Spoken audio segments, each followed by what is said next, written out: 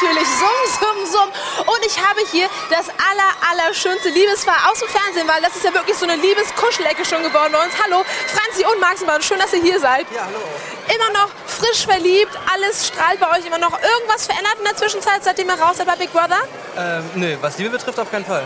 Und wie sieht es aus mit der zukünftigen Planung, so Haus, Kinder, Auto, Baumpflanzen und so, was man alles so Schönes macht? Also Marc ist jetzt erstmal zu mir gezogen. Ah. Und aber wir suchen dann den Weg gemeinsam nach Köln.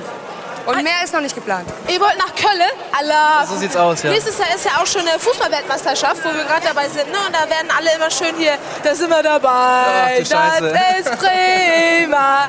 Viva Colonia! Singen bestimmt. Wir haben auch hier einen an der Mattscheibe. Ne?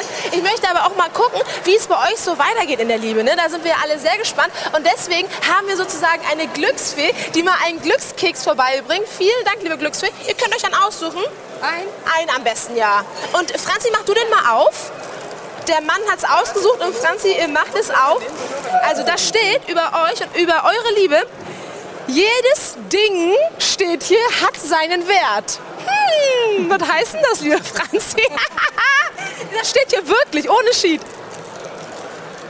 Okay, das, das, das, das, das mit dem Ding und hat seinen Wert und so, das lassen wir so stehen. Ist schön, dass ihr hier seid. Habt noch viel Spaß bei uns. Jedes Ding hat seinen Wert. Ui, ui, ui. Bei denen geht es bestimmt ab wie bei Schmitz Katze. Und